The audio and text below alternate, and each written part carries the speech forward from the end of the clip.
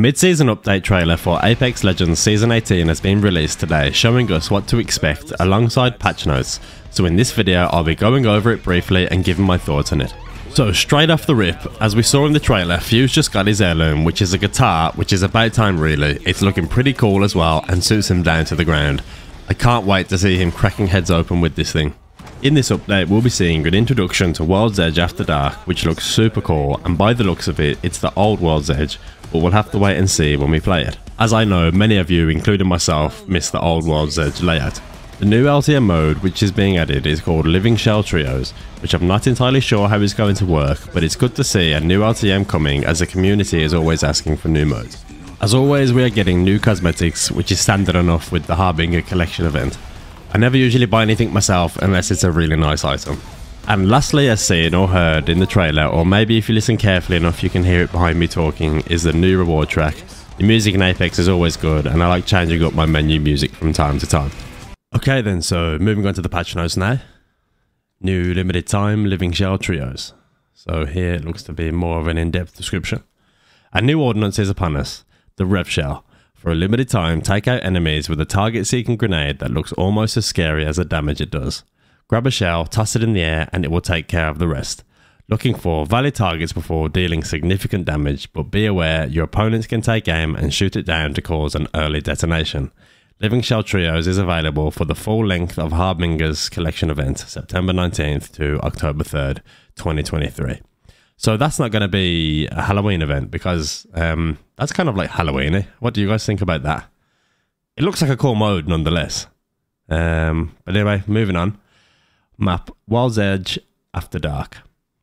Um, there's a little look at the map. It does look nice. It, it like it looks cool with a bit of like darkness on it. Shrouded in darkness, World's Edge becomes a bewitched battleground featuring updates to once familiar POIs. So maybe, like I said, it's like the old World's Edge map, but we'll have to wait and see what they do bring back. Enter the pain yard at your own risk to fight around a train going nowhere, or keep warm by the tree in its flaming glory. But watch out for the lava. It's a Marvin's worst nightmare, and it may be yours too. Ooh. We're getting all Halloweeny in here. So moving on to the collection items. They're just the collection items. And here we have Fusy's heirloom, mate. So that's his little heirloom. He's tuning his guitar. It's a little animation for it, I suppose. What do you think of that? That's pretty cool looking, isn't it? That definitely suits him down to the ground. What do you guys think? Let me know in the comments down below. He's even got a little dog here. Is that a kangaroo? so that's the reward tracker. We'll just skip past that. If anyone's interested in the store, like I said, I don't really buy too much things from the Apex store unless it's like really cool. I don't know, nothing's really popping out to me. I don't know about you guys. What do you think? But that's that. And now, look, we've got the patch notes. So let's go through this, guys, and see what is changing. So starting off with balance updates. Uh, the weapon crafting rotation. The 30-30 repeater enters the crafter. The RE45 hammer point rounds enters the crafter. Mozambique returns to the floor loot, and so does the Nemesis. Ew! That is definitely getting a nerf. Lowered autoplayer difficulty in orientation matches. Redistributed the packets of high tier armor within POIs. Example, the center of countdown on World's Edge into the global loot pool. Oh no. Okay then.